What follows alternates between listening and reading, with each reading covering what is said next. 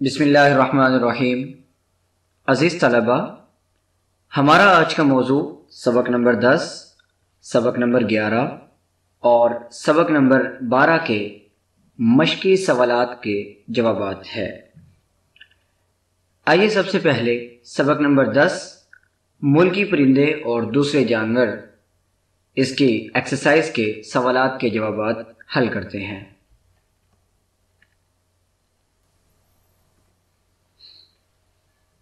इस सबक का पहला सवाल, कौवा ग्रामर में हमेशा क्या इस्तेमाल होता है? इसका जवाब है, कौवा ग्रामर में हमेशा मुजक्कर इस्तेमाल होता है। पहाड़ी कौवा कितना लंबा होता है? पहाड़ी कौवा डेढ़ फुट लंबा होता है। बंदूक चले तो कौवे क्या करते हैं? इसका जवाब है कि बंदूक चले तो कौवे इसे अपनी ज़ाती तोहन समझते हैं और लाखों की तादाद में जमा हो जाते हैं और इतना शोर मचाते हैं कि बंदूक चलाने वाला पछताता रहता है। हम हर खुशगुलू परिंदे को बुलबुल समझते हैं। इसमें कसूर किसका है? इसका जवाब है कि हम हर खुशगुलू परिंदे को बुलबुल समझते हैं, इसमें हम, कसूर हमारे अदब का है। अज़ीज़ तलबा खुशगुलू परिंदे का मतलब है, खुश इल्हान परिंदा, यानी अच्छी आवाज़ वाला परिंदा अच्छा गाने वाला परिंदा, ऐसा परिंदा जिसका गला बहुत उम्दा हो, यानी उसके साज, उसके राग अच्छे हों।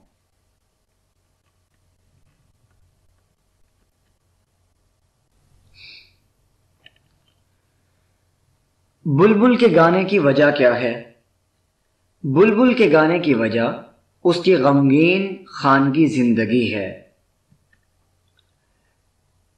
बुलबुल बहुत से मौसीकारों से क्यों बेहतर है? बुलबुल बहुत से मौसीकारों से इसलिए बेहतर है कि एक तो वो घंटे भर का अलाप नहीं लेती, बेसुरी हो जाए तो बहाने नहीं करती कि साज वाले निकम्मे हैं। या आज मेरा गला खराब है। भैंस का मशगला क्या है? इसका जवाब है कि भैंस का मशगला जुगाली करना या तालाब में लेटे रहना है।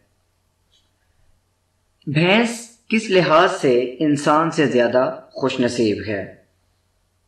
इसका जवाब है कि भैंस इस लिहाज से इंसान से ज़्यादा खुश नसीब है क्योंकि उसका हाफजा बहुत कमज़ोर है और उसे कल की बात आज याद नहीं रहती।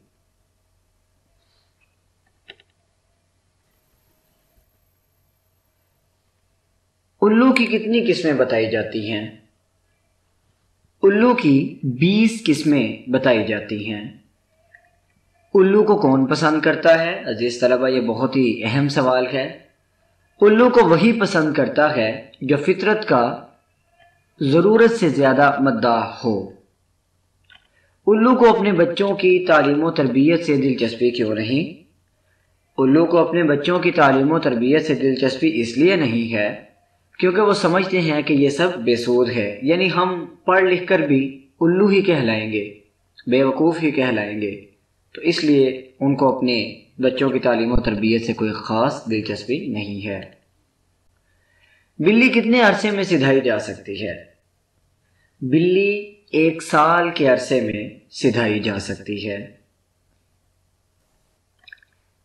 आइए, अब सबक नंबर ग्यारह, कदर अयाज की एक्सरसाइज के सवाल के जवाब हल करते हैं। मुसन्फ को किस किस्म का बंगला रहने को मिला?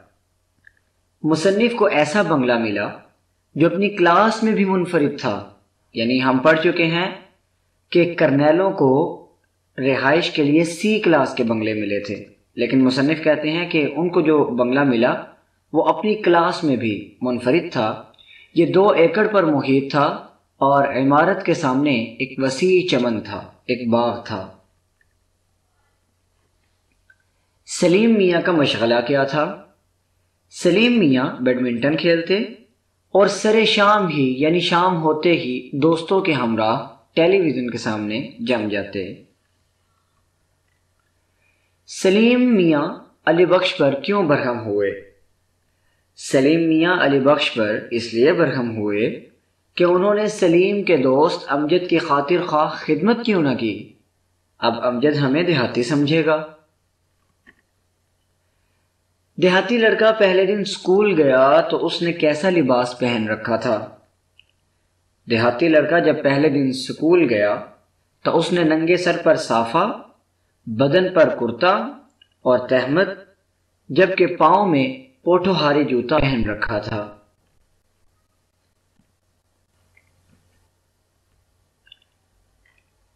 मास्टर जी छोटे चौधरी के गाँव क्यों गए थे?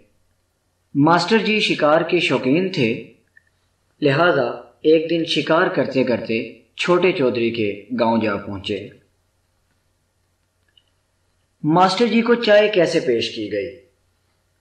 मास्टर जी के लिए चाय मकामी हकीम के घर से मंगवाकर बनवाई गई थी, मगर वो इस कदर कामयाब चाय न बन सकी। ऐसी बदजायका चाय थी कि मास्टर जी ने उसको उसका एक घूंट लिया और उसके बाद बाकी कप रख दिया। देहाती लड़के की कहानी सुनकर सलीम मियाँ पर क्या असर हुआ?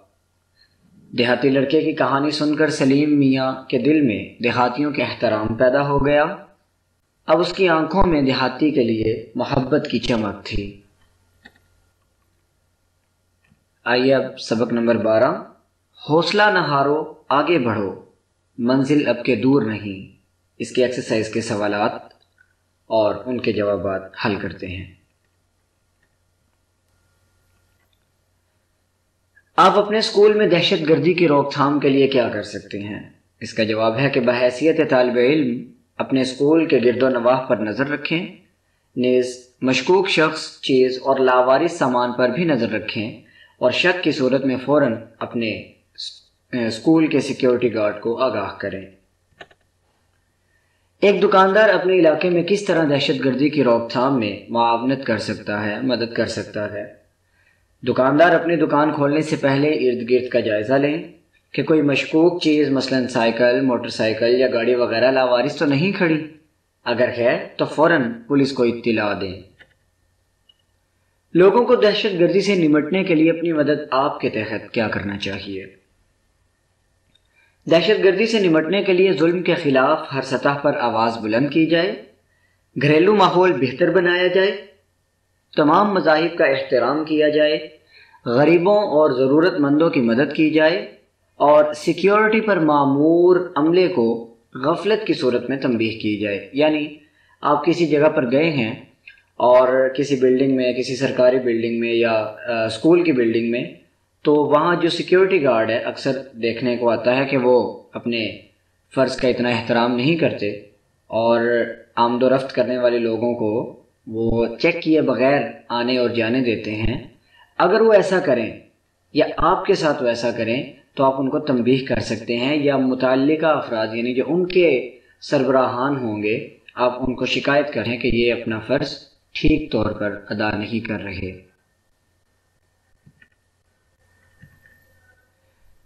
दहशत गर्दी को रोकने के लिए किराएदारों के लिए ज़रूरी मैार मुख्तसरा बयान करें।